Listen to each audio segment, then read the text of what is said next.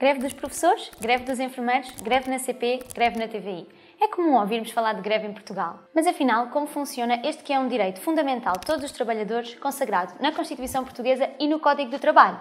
Neste vídeo, explico-lhe tudo.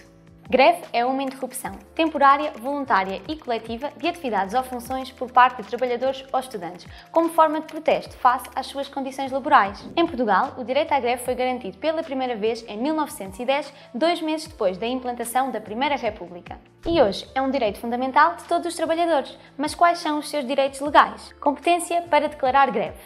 Segundo a lei, uma greve deve ser declarada pelo Sindicato dos Trabalhadores. Caso os trabalhadores de uma empresa não sejam representados por um sindicato, podem declarar greve através de uma assembleia, que deve ser convocada por 20% ou 200 trabalhadores da empresa. Piquetes de greve. As comissões de greve ou associações sindicais podem organizar os chamados piquetes, na tentativa de persuadir, por meios pacíficos, os trabalhadores a aderirem à greve, tendo sempre em conta o cuidado de respeitarem a liberdade ao trabalho de cada um. Ou seja, no fundo, os piquetes de greve têm como objetivo convencer os trabalhadores que não aderiram à greve a aderirem à greve e a não entrarem no local de trabalho. Mas forçá-los ou discriminá-los por não aderirem à greve é ilegal. Pré-avisos de greve.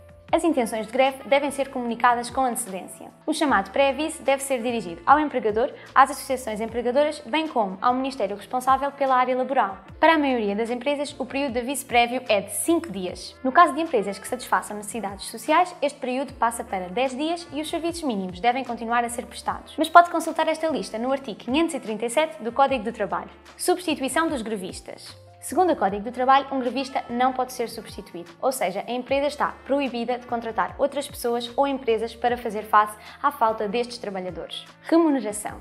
Durante uma greve, o contrato dos trabalhadores fica suspenso. Isto significa duas coisas: que não é obrigada a exercer as suas funções, mas também fica sem a retribuição financeira relativa a esse período. Fim da greve.